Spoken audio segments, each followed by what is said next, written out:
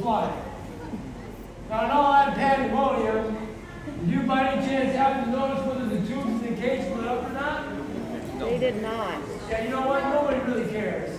Nobody really cares. Except that nice couple on their third date. Right?